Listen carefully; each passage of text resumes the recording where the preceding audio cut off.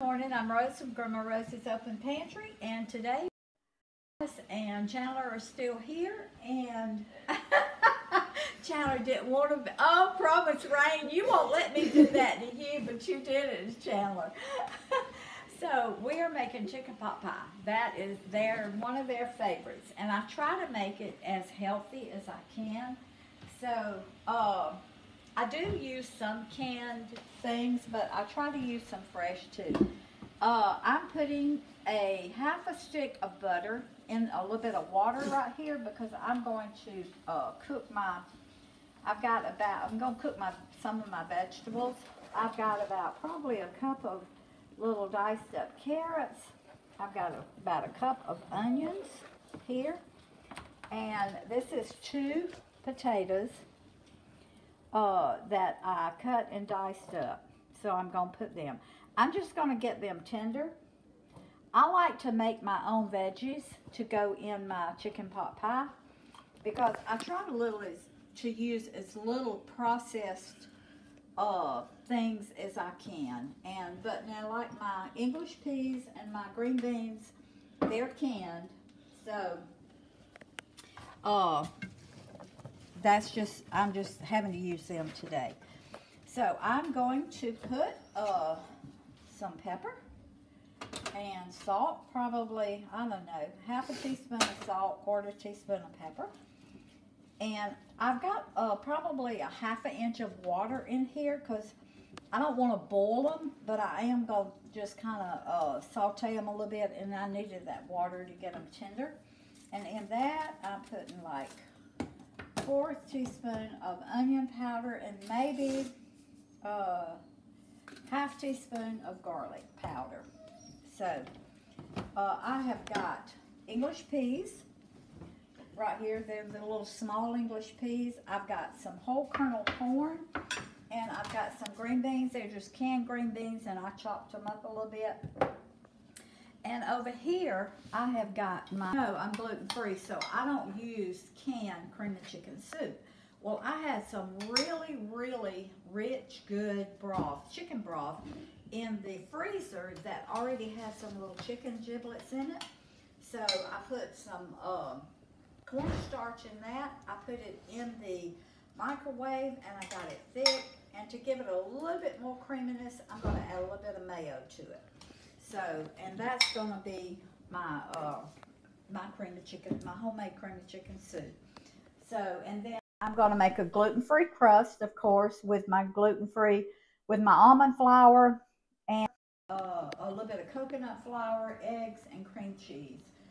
Uh, and I boiled my chicken this morning in my Cuisinart little Instant Pot right there. So it's going to take these veggies a little bit to come up to temp. So when the potatoes and the carrots get done, then I'm going to pour, I'm going to get all the water, let all the water cook out because I don't want any water in my veggies. And then I'm going to put my corn, my English peas, my green beans in there, stir it all up. And then we're coming over here and we're going to put it all together, slide it in the oven. And hopefully by 1245 we're going to be eating because these kids have been out building a fort and they are hungry. So we'll be back in a few minutes. Okay, I added my English peas, my corn, and my green beans after my onions, carrots, and potatoes got done. Okay. And I cooked them just long enough to kind of get them incorporated in. And I, I tasted of it. And I did add a little bit more salt, a little bit more pepper, and a little bit more garlic into it. Uh, now, tell you what I'm going to do. This is a lot. Woo, it's hot. I'm going to take some of this out. All right. Until I see how much the cream of chicken soup, how much, uh, it may not be enough for all these vegetables. Now, the way I made this cream of chicken soup, I had broth and the chicken broth that had a lot of uh, like chicken giblets in it. I had about probably a cup, a cup and a half in the freezer. I took that out. I added some cornstarch to it and I put it in my microwave and I thickened it till it's it's dark. It's not, and I put two teaspoons of chicken base in it, so it would give it more of a chicken flavor. So, oh, that's gonna be perfect. And I may add my other veggies back in because those children outside they love chicken pot pie. So, uh, I made some pasta yesterday. Chandler came in this morning. He said, "Oh, Grandma, you got any more of that pasta? I want that for breakfast." So now to make this just a little bit creamier, I'm going to add like two tablespoons of mayo to this. Now, if I was using regular cream of chicken soup, I probably would not do this. But the mayo just gives it a little extra flavor to me. And it makes it a little bit creamier. So, oh my, this looks good. Okay. I've already got my oven set for 350. And, okay, I think I'm going to add these extra vegetables in because it's plenty creamy. I was just worried about it not being creamy enough. All right. This is going to be a big chicken pot pie. Now, this is my chicken that I cooked in my Instapot this morning and I just put a whole chicken in there and I cooked it for like 30 minutes, 35 minutes, 35 minutes because I had taken it out of the freezer and it was partly frozen. So I cooked it 35 minutes. Usually, a, and it was a big chicken. I still got a bunch over there I hadn't, that I'm not going to use in this. But uh, it was like a six pound chicken. And now keep in mind, Rose puts more meat than anybody else in the world in anything. I want you to look at the meat. It's just gonna when I get over here now, it's almost all meat with a few vegetables thrown in. Hey, That's what it is. When I'm feeding my grandkids, I want them to have plenty of protein. Rose. So. Rose, that is meat heavy if I but have ever seen it. This is a meat dish, honey. I mean, wow. Now you don't have to put this much if you don't want to. Roy loves to criticize when, when I do something like he wouldn't do it. well, chicken is up to fourteen dollars a pound. I'm Ooh. trying to save a little money. Mm, I know. Okay, now I'm going to put it in my casserole dish, and I don't know what size this casserole dish is, but it's a big one. So I'm just going ooh, doesn't that look good? For you out there that are gluten-free, if you've never made your own cream of chicken soup, it's really, really good. And the reason you have to do that is because uh, there is wheat in cream of chicken, cream of mushroom, cream of celery, any kind of cream soup, there's wheat in it. So now everything in here is done. Oh my. Mmm. Mmm. That is so good. Okay, I'm going to put that right there. My sink is getting really full of dishes. Now, I'm going to make a put a gluten-free crust on this. I'm going to put this in the microwave for like uh on soft melt It'll take it like 30 seconds, but it's on soft melt, so it's not real, it's not real uh, high power. Okay, I've got three eggs. I've got three quarters of a cup of almond flour and about three, two to three tablespoons of coconut flour. And I've got two teaspoons of uh, baking powder in here. That's going to be the crust for my chicken pot pie. This is this cream cheese has been out all morning, so it was already kind of soft. I just like to soften it really, really good. Now this is six ounces of cream cheese. I'm doubling what I usually do, like for waffles or pancakes or something. Okay three eggs.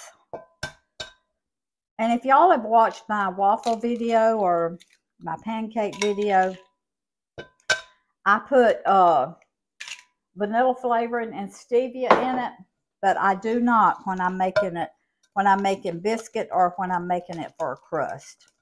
And this is a keto crust. This is a keto crust. It only has four ingredients. Cream cheese, eggs, your flours, which is almond and coconut, and your baking powder. That's all this has. Okay, and I'm going to whip it real good and make sure that your eggs are room temperature. I had put these in some hot water to get them up to, uh, to room temperature because if you don't, and you've heard me say this before, if you don't, and you put cold eggs in this uh, cream cheese, hot cream cheese, or warm softened mm -hmm. cream cheese, mm -hmm. it's gonna make that cream cheese cold and you're going to have little knots all in your mm -hmm. uh, batter and you do not want that. Okay. Now I'm going to put my almond flour and my coconut flour. And this makes a wonderful crust. It really does. I love it. I don't want to put another egg I want this a little bit thinner. So I'm going to add a little bit of milk to it just because I want it a little bit thinner.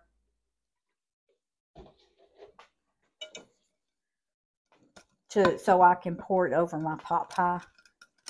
I told Promise, I said, Promise, honey, I said, I'll make two. I'll make me one, a small, just a little small one with a gluten-free crust, and I'll just make y'all regular crust. But her mom is gluten free and also so promise tries to eat as healthy as she can she said no grandma she said i want it she said i want to make it like i want to eat it like you make it like you eat yours so and it's really good that was probably a half a cup of milk that i added to it just to make it where i can pour it good okay and I'm just going to pour, and you can see it's kind of like pancake batter.